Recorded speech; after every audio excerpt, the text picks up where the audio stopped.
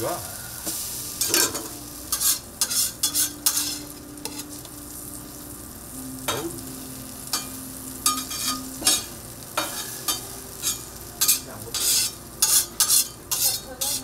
스파게티 기가 막히게 나왔는데.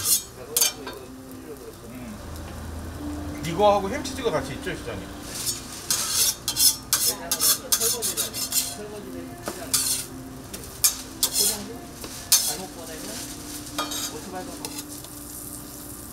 어우.